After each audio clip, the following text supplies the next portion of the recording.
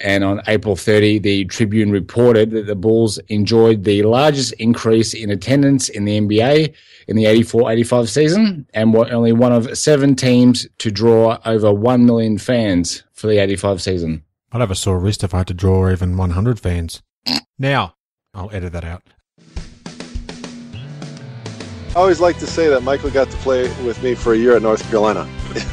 I think it really helped him. Spectacular player from the beginning. You can see right away Jordan was going to be a big time scorer. And showed what an impact he was going to have on the league. This is NB 85, celebrating the 30 year anniversary of Michael Jordan's rookie season in the NBA. And now, your hosts, Adam Ryan and Aaron Steen. Welcome back to another episode of NB85. We're up to episode 27 in the series, Aaron. Thanks again for joining me, mate. How are we today? Really good, mate. NBA news, notes and quotes. 1985 playoffs, round 2. Let's get straight into it. The April 29 edition of the Chicago Tribune included a Chicago Bulls 1985 roster forecast by Bob Sakamoto. Bob acknowledged that Caldwell Jones would most likely be cut during the offseason and that Jawann Oldham and Dave Corzine were going to be adequate backups for next season, meaning that they're going to be looking for a starting pivot. He floated the idea of a trade with, and I quote, the winner of the Patrick Ewing sweepstakes, end quote, in getting either Bill Cartwright from New York, Joe Barry Carroll from Golden State, Herb Williams or Steve Stipanovich from Indiana, or Tree Rollins from Atlanta, depending on who gets Ewing in the upcoming lottery and NBA draft. Interesting machinations there about what could have been, but although Billy did end up in the Bulls a few years hence. What could have been or what will be, I guess. Well, yes, true. He said the glut of power forwards would most likely make David Greenwood expendable. Steve Johnson had his best full season at power forward, and they should consider moving Sid Green to the starting five, which they actually did. He started 68 of 80 games played in the 85-86 NBA season. They are pretty settled at the two and three with MJ and Orlando, and backups such as Rod Higgins, with also the likely move of Quintin Dailey. And as we've mentioned a few times, mate, Dailey stayed on the roster, wasn't quite discarded as quickly as these newspaper articles may have suggested would happen. Yeah, they had him down as a dead man walking, but yeah, he was back. he was back. The inconsistency at the point guard spot hurt the Bulls this year. Ennis Whatley lost the confidence of coach Kevin Loughery after an excellent 83-84 season when he finished seventh in the NBA in assists. The article spoke of Norm Nixon and Johnny Moore being potential free agent targets. Hmm. The general consensus around the league was that the Chicago Bulls underachieved this season, and it's a view that the Bulls players also shared. And on April 30, the Tribune reported that the Bulls enjoyed the largest increase in attendance in the NBA in the 84-85 season and were only one of seven teams to draw over 1 million fans for the 85 season. I'd have a sore wrist if I had to draw even 100 fans. Now, I'll edit that out. Um, the first series, mate, we'll cover here is the West's number one seed, the LA Lakers. They opened their second round series against the number five seed Portland Trailblazers. The Lakers took the series in five games. They won it four games to one with an average winning margin of almost 16 points a game. Portland's sole victory was in game four of the series at home, and they had an eight point win. And the Lakers' lowest score in this series in games that they won was 125. Uh, showtime. Magic and Kareem averaged 21 points per game or better during this series, and the Magic Man averaged an incredible 17 assists per game. The next highest assist man was Michael Cooper. He had 19 assists in total over the five games. So Magic was serving up dimes on a plate. Don't even know if that makes sense, but we'll go with it. Kiki Vandeweghe led the Blazers in scoring, averaging 19.8 points a game, and second year man Clyde Drexler, he shot poorly, only about 35% from the field, but overall he enjoyed a very good series, averaging 15 points, 5.2 rebounds, 9.2 assists, 3 steals, and 1.4 blocks a contest. And this series ended on May the 7th. Hashtag line by line. the only way to do it, mate. Now, on the 28th of April, Philadelphia opened their series. They were the number three seed in the East, and they decimated the number two seeded Milwaukee Bucks in a sweep, four games to nil. Now, the series wrapped up on May the 5th, almost as quickly as it actually began. Games two and three were decided by just nine total points, but the 76ers had a 22 point win in game one, and they had a comfortable nine point win in the clinching game four. That's what you get for betting the Bulls in the first round, Milwaukee. That's right. So even though they had the number two seed because they were in the Central Division, Philadelphia certainly made short work of the Bucks.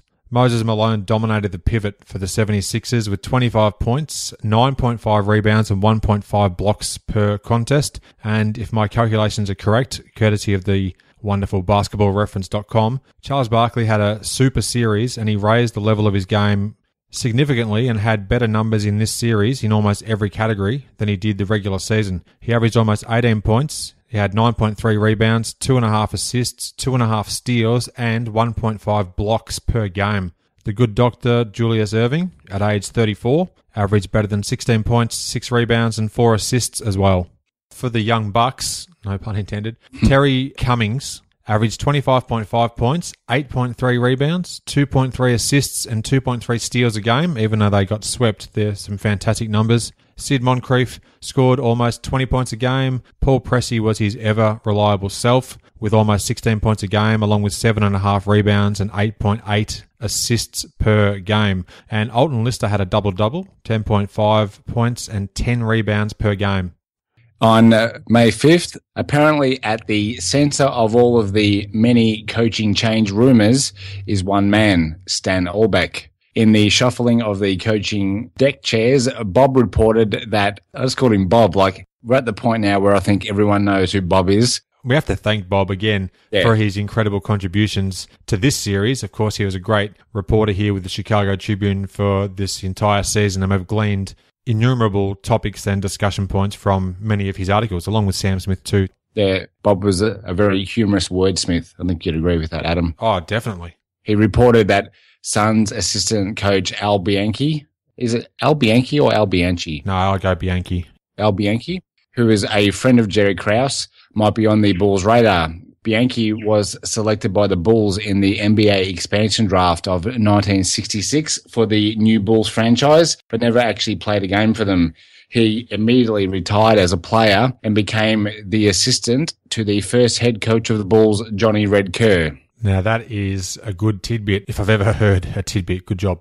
And if you want to hear another cool tidbit, Al Bianchi's nickname, Blinky. Blinky Bianchi. Blinky Bianchi. Is that serious? Yes. Another name that keeps popping up was Phil Jackson, who has done an outstanding job in the CBA. That Jackson played under Red Holzman at the Knicks was considered to be a factor as Jerry Reinsdorf wants to bring Holzman's style to the Bulls. Krause named Phoenix's John McLeod, Portland's Jack Ramsay, and Stan Albeck as current NBA coaches in the Holzman mold on May 6th, one college coach gave the Tribune a hot tip that both Patrick Ewing and Georgetown head coach John Thompson will be in Seattle next season. It's extraordinary. I actually remember combing over that article uh, in my research as well and had forgotten about it until you brought it up again then. Imagine the uh, repercussions if that actually had happened. Well, little did he know that his prophecy came half true, albeit 15 years later in the 2000 2001 NBA season when Patrick suited up for the Sonics for a season. That's right. The oft forgotten Seattle Sonics experiment uh, with Patrick Ewing. I reckon that would be a great topic for an episode. Great NBA players who have just those, you know, last season or two. Olajuwon with the Raptors. Yeah. Dominique with Orlando, et cetera, et cetera. That'd be a cool topic for a podcast. We must do it. um, now, the next series we want to quickly touch on, mate, was the second seeded Denver Nuggets. They opened their series against the sixth seeded Utah Jazz. Now, how's this for a game one stat line? I want you to try and identify who this player is 19 points, 16 rebounds, and 18 assists. Who do you think that was in game one of this series? My goodness. Um, 19 points, 16 boards, 18 assists. Denver versus Utah. not our main man, is it? Fat Lever? Hashtag fat love. exactly. Wow. This is Fat Lever's stat line in game one. Uh, Isn't that incredible? He's about 6'3", 6 3. And he's pulled down 16 boards. Yeah, if you don't mind. Hmm. That's why we love him so. One of the many reasons. Utah were without seven foot four Mark Eaton. Shameless self promotion time. Former podcast guest, inallairness.com slash 49. Now, he injured himself in game five of the first round series against the Houston Rockets, and he had to have surgery and sat out the rest of the Jazz's playoff campaign. Utah's only victory in this series came in game three. It was their first game at home. The Nuggets had a 12 point win in the fifth game, 116 to 104, that iced the series. The Nuggets' Alex English was a scoring machine in this series. He averaged a hefty 30.6 points a game. Calvin Natt averaged almost 23 points a game. 1985 All Star. Indeed, he was. And Lafayette Fat Lever averaged triple double 17 points, 11 rebounds, and 10.3 assists. Hashtag justified fat love. Extraordinary performance. What a great effort. For the Jazz, Adrian Dantley, I've got here on my notes, perhaps the 1980s most underrated scorer. Just check out his basketballreference.com player page at some stage. Just some incredible numbers. He averaged 26 points plus almost nine rebounds a game. And four other Jazz members, Darrell Dr. Dunkenstein Griffith, Ricky Green, Big T, Thurl Bailey, and Jeff the franchise Wilkins averaged at least 10 points a game. And if you're wondering how rookie John Stockton fared, in 19.4 minutes a game, had just under eight points, three rebounds, five assists, and two steals a game. Now, the series ended on May the 7th. Of these players I'm about to mention, see if you can tell me who has the made up nickname. Are you ready? Bring it on. Darrell Dr. Dunkenstein Griffith, Thurl Big T Bailey, Jeff the franchise Wilkins, Little John Stockton, and Ricky Don't Call Me Literal Green. well, I know that Hot Rod Hundley did call John Stockton Little John. So, of course, and given the farcical nature of Ricky Green's alleged nickname, I'd fair to say it's Ricky Don't Call Me Laterial Green. uh, NBA nicknames is another future podcast episode. Ah, that will happen. Hashtag Atomic Dog. Audie Norris, episode 26 of this series. On May 7th, a Tribune article spoke of the rise of the image of the NBA as the league's TV deal had increased from only $400,000 in the 1979-80 season to $11 million in the 85-86 season. Hmm. It was also the only pro league in the US that posted higher ratings in 1985 than five years beforehand. Interesting numbers there. David Stern's reply to the encouraging figures was, and I quote, it's certainly better to be desirable than undesirable, end quote. Nice work. He said there were a number of decisions that had carried the NBA from the trash heap to the forefront of sports on TV. These were limiting the number of games that a team could broadcast on its own superstation, such as WGN, in any season to 41. This prevented an oversaturation that was believed to drive down the ratings of college basketball and football in previous years. 41 games at a maximum on a team's own station. Yeah, That's still a pretty decent number. back in 85 as well. Yeah. Yeah. Chicago station was Sports Vision at that stage. WGN, of course, as well, as you said. You know what WGN stands for? Oh, geez, I did. Oh, I did know this, but no, I, I can't remember. What is it? World's greatest newspaper. Really? Are you having me on? No, Oh, serious? deadly serious. No, I didn't know what it was then. because that's not what I expected to hear. That's what I was told when I was over there in, in February of this year. After the recording of this episode, I will be checking that to make sure that uh, I haven't made a complete fool out of myself. But yeah, that's what I was told. the restriction of cable broadcasts of games to within a 75 mile radius of the home arena, making the game available to a lot of people in the US on network TV. Hmm. The less is more concept was reiterated when the league asked CBS to broadcast just five games in 1983 and then eight in each of the next two seasons.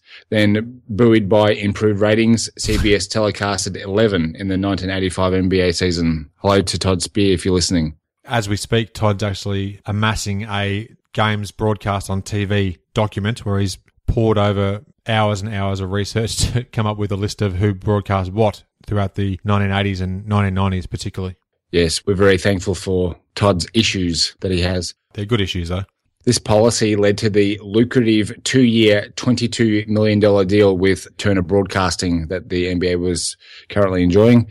The NBA followed the lead of other leagues in having sponsors promote various events, such as the Miller Genuine Draft All Star voting and the Schick Legends game. And the last point was the institution of a salary cap, which led to the NBA making money after just three seasons prior, it lost $20 million. Plus had four of its teams facing liquidation and another six were up for sale with no buyers on the horizon. Dicey times indeed. So it's no understatement to say that Stern was definitely a key reason in helping the league progress to where it actually was by the time he handed over the commissionership to Adam Silver. Mm. Anyhow, uh, got lost there in uh, NBA history past. um, the next series that we'll quickly chat about, mate, was the East's number one seed, the Boston Celtics. They commenced their series against the number four seeded Detroit Pistons on the 28th of April. The Pistons won the series in six games. It was the longest of the four semi-final rounds. The series opener was a 34 point Boston rout. And then Detroit won games three and four at home to even the series. However, the Celtics won the next two matchups and closed it out in game six with a 123 to 113 victory. Just in regards to the 85 Detroit Pistons, I found a little tidbit in the other Tribune on May 10th. The company that had previously insured the Pontiac Silverdome had cancelled its policy after the roof collapse that occurred on March the 4th. Authorities from the Silverdome said that they were going to have to find a new insurer for the stadium before its reopening in August of that year. So I'm assuming that the games three and four wins at home were at Joe Louis Arena. Yeah, that's true. We did reference in previous episodes that they played at Joe Louis Arena and was it Kobe Hall? Cobo. Cobo. Kobe. oh, goodness.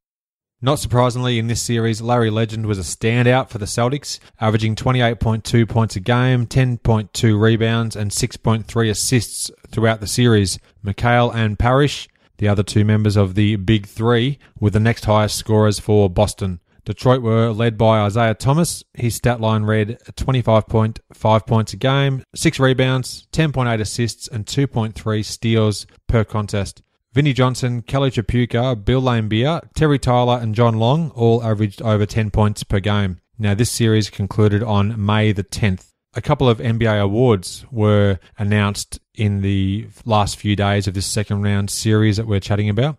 The NBA announced on May the 7th that Don Nelson was named NBA Coach of the Year, and this was the second time he'd won the award in just the last three years. The Bucks went 59 and 23 in the regular season. And on May the 9th, Mark Eaton was named the NBA's Defensive Player of the Year. He received 32 votes in all. The Bucks' Sidney Moncrief and Paul Pressey finished second and third respectively. They totaled 23 votes between them. So that shows you how dominant Mark Eaton was. Speaking of dominant, he's one of the most incredible stats in NBA history. Exactly. Eaton smashed the NBA record for blocks in a single season 456. And also, here's a great Mark Eaton fact and stat that I read from one of the articles about his Defensive Player of the Year. He scored 53 points in total in his 30 game collegiate career at UCLA. Okay, the 456 blocks is just being trumped by that. That's that's a ripper. That's remarkable, isn't it? Yeah, 53 points in 30 games. So in this 85 NBA season, he averaged 5.6 blocks per game.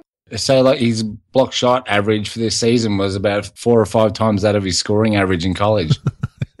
Quite a remarkable stat. And when I did read that, I was pleased that uh, we could include it in this episode. On May 10, the Tribune's Odds and Ends reported that whilst GM of the Bulls, Rod Thorn had accepted an invitation to speak at his alma mater, the University of West Virginia, at a banquet on Saturday, May the 10th. Thorne told the school that the only reason he could see that he wouldn't be able to attend was if the Bulls were still in the playoffs. He added that he didn't think there was much chance of that happening. At least he's honest. Very. We're almost at the end of the episode, mate. Some of the individual highs for this second round of the NBA playoffs in 1985. Larry Bird dropped 42 points on the Detroit Pistons on the 30th of April. The captain, Kareem Abdul Jabbar, pulled down 17 rebounds at Portland on the 5th of May. And Magic Johnson, not surprisingly, had the highest number of assists in this period of time 23 at Portland on the 3rd of May. So there you go, mate. That's the second round of the NBA playoffs. We haven't gone as detailed this time around, mostly due to the fact that the Bulls had exited in round one, let's be honest. Also, I think it's just good to have a an overall recap of these following series without going into the line by line minutia that some people have come to expect. Nothing worse. Terrible. In the never ending search for content for this NB85 podcast series, I wanted to get the opportunity to speak to someone who actually attended games at Chicago Stadium in this 85 season and got the chance to see Michael Jordan play as a rookie. So when I was in Chicago back in February of this year, I took the opportunity to contact Marc Silverman, aka Silvy from the, the Waddle and Silvy show on ESPN 1000 to see if I could organize a time to, to sit down with him and ask him a few questions about watching this 1985 edition of the Chicago Bulls and MJ as a rookie. Here is that audio, mate. So thanks again for recording it, and thanks to Silvy for making himself available too. First of all, Silvy, thank you very much, mate, for some time uh, on the NB85 podcast. You're a, uh, Chicago guy and uh, wanted to get your point of view on your own personal experience with the 1984-85 Chicago Bulls. You know, it's funny, you've come the furthest distance ever to interview me. So, you've got that going for you, if that's anything going for you. You're welcome.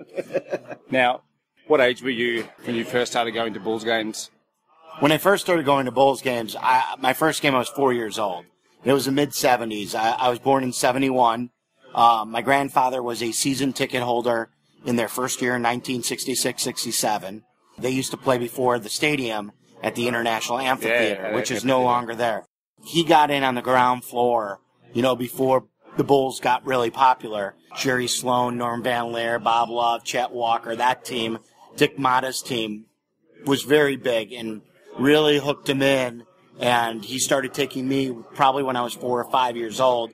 We actually sat on the floor at the old Chicago Stadium before they were any good. This isn't like the high rollers seats like they are today. You know, Yeah. I mean, those were probably just a few bucks more and you know, we used to sit on the floor and there were probably maybe two or three thousand people at these games total.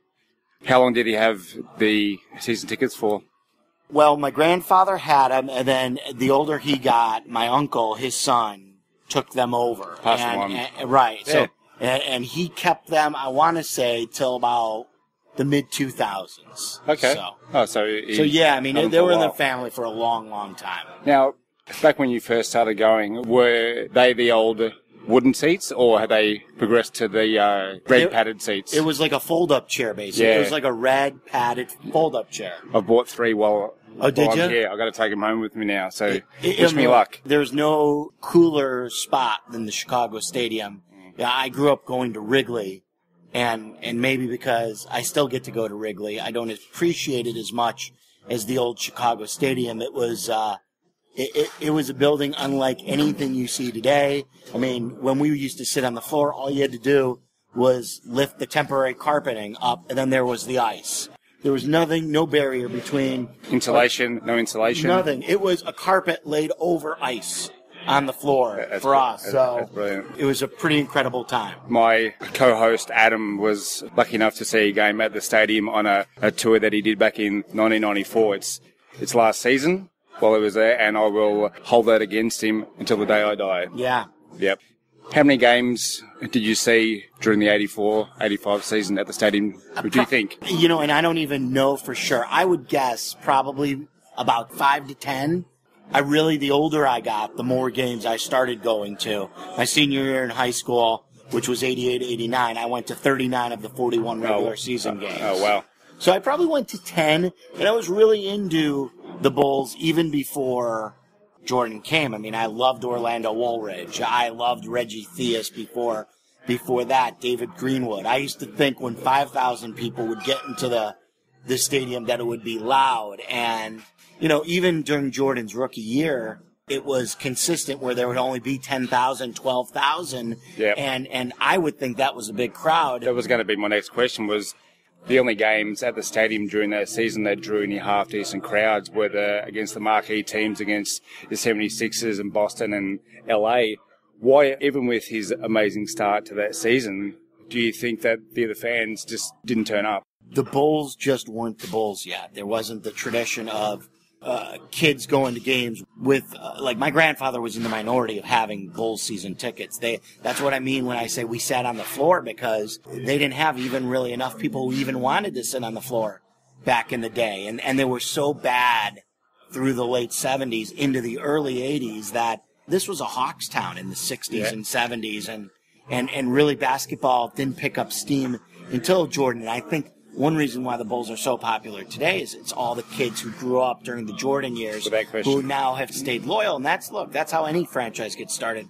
The Bears, one generation to the next. And I think with with Bulls fans now, they're as passionate as any because they grew up through some really good times. I'd also heard about that the other fans may have been a bit mentally scarred from you know a few potential stars that didn't quite live up to expectations. So maybe they may have seen MJ early and how good he was, but maybe didn't buy into it as much. You know, I remember too. It's a funny story because I was so into them. And in '84, that was the Olympic year. Um, Bob Knight, I think, coached the U.S. Olympic team in '84, and they won the gold medal. Um, and I just remember that summer being so tuned into the Olympics, trying to figure out how good Michael Jordan was. You know, we got Michael Jordan coming, and and it was great, and we were really excited. But no one, no one knew that Michael Jordan was Michael Jordan and and it just started. He just started doing things on the court that we've never, ever, ever seen anyone do on the court before. One thing I've seen is from the way that he played in the Olympics, the the hype surrounding MJ before he played his first game here in Chicago was pretty huge. By today's standards, no. Well, I mean, No. for back then, like you know, the expectations were quite high. Yeah, well, I don't know even if they were that high. There were things, it was a total transition time for basketball because we, like I said, we saw a lot of bad basketball. And the things that we started seeing Jordan do, there was Dr. J, sure. No one ever talked about hang time. And then when Jordan came in his rookie year, people, I remember being in junior high, starting to talk about hang time on the way Jordan, the way he just hung in the air. And then obviously the air Jordan uh, happened, and then the double clutch dunks and and different things like that. Everything he did was new. So like there was no hype of knowing what was to come because every time he was on the floor, he did something new that none of us ever saw before. I've got every single game from his rookie season that is available in trading circles at, at the moment. So I think there's about 20 or 22 games that I've got. And in watching those games, you can just see how far ahead of everyone else on the court he is, just from an athletic standpoint. He was not just one notch, he was two or three notches athletically above everyone else. The, the, the swag too that he brought. Yeah, yeah, yeah. Obviously, um, I, there was one. I don't know if you watched this game. If this was, I, I believe this game was from his rookie year, and I remember watching. I think they were playing the Clippers in L. I don't even know Yeah. if they were in San, I've if they the were in. San Diego or in, in L.A. 84 85 was their first season in LA. So the play that I always remember was the one where they tried to foul him. Yeah. And they grabbed him and basically bear hugged him or grabbed him with one arm. And he still was able to get the shot off and scored while getting fouled. And those were the types of plays Yeah. that they were just unheard of. So no one really knew what was going to happen next. and you could hear the excitement in the announcers' voices. That game that you're speaking of in the LA against the Clippers, Bill Hazen was the, the caller for the Bulls on that game, mm-hmm. and you can just hear the excitement in, in their voices because it's all brand new to them, and they just could not believe what was happening on the court in front of them. It, that's the thing. It was just such a new thing. I still remember this vividly. I was probably, I don't know, seven, eight years old. My grandfather said, We're going to go to the Bulls game tonight. We're going to see a guy fly. And it's Dr. J. and I'll always remember that. I still remember that. Yeah. And he was the first, really. Dr. J was like the first basketball player who took it to another level where it wasn't just jump shots and layups and that it was a guy actually taking off and doing special things. And Jordan took what Dr. J did and just went it to the 10th degree. I've seen a few games from back in the early 80s, and yeah, I agree that just MJ's his body control and his creativity, especially when everyone talks about yeah, Air Jordan, but his creativity in the Mm-hmm. air, it, it definitely like, it set him apart even from Julius Erving, I thought. and and he was competitive from the moment he started. Yeah. And there were some rivalries. Even I'm sure you guys know about. I think it was his rookie year in the All Star game where there were a lot of jealousies from him wearing the Air Jordan gear during the dunk contest, or even within the Bulls team where a guy like Orlando Woolridge, who I told you that I liked. Um, was jealous really of Jordan of all the publicity that he was getting. Quintin Dailey as well was Well, another well, one. Yeah, who had a Quintin Dailey. trouble with it. Quintin Dailey had more problems than just Jordan. I mean that he was a troubled guy, and and you know there were a lot of guys. The story goes, I was very young at the time to know a lot of guys on that first and second year teams of Jordan who weren't great guys. Who there were drug issues, and drugs were rampant in the NBA at that time, and they weren't. Besides Magic and Bird and Doc, the big stars there were today, so there was a almost a criminal element to some of the players on the Bulls team, and Jordan, thank goodness, kept his distance from those guys. In one of our earlier episodes, we interviewed Sam Smith, and Sam said that Quintin Dailey was the only NBA player in history who's been met with a, a picket by Before his rookie The get women's group. because of the, what happened in college with with the rape allegations and Yeah. everything like that. Yeah. People were picketing out. I still remember this too as a young kid outside the Chicago Stadium when he was a rookie, and Quintin Dailey actually was not, not a bad player, and he was a really good shooter, great sixth man. And he was just a, a really, really troubled guy. As Yeah. were a few, probably a handful of those guys were, were troubled guys on th those Bulls. Agreed it was that era of the NBA. Thanks, really, really appreciating the other time, mate. I've got one more question Sure. for you. With the other players of that era being a, lot more accessible, did you ever have any any personal interaction Yeah, with any of that lot, a lot. You know, it's funny you bring that up because some of my great memories was there was a restaurant up in the northern suburbs. I grew up uh, 15 miles north of Chicago in the town called Skokie, and there was a restaurant just north of that in Northfield called Danny's. And weekly they used to have a radio show, the Orlando Woolridge Show. They would broadcast it. Jimmy Piersall was the host. Jimmy Piersall was an old school baseball player, played for the Red Sox, announced the White Sox game, turned into a radio personality, and he would host the Orlando Woolridge show. So, you know, going up in the 80s, at a young age, I knew I wanted to be on the radio. It was like killing two birds with one stone. I would get to see how a radio show was going on, and I would get to meet Orlando Woolridge every week and get autographs and, and things like that. In his rookie year, Jordan came up as a guest. 50 people, maybe 40 people at this. But yeah, if you wanted to meet Bulls players, it was a really easy time to meet them.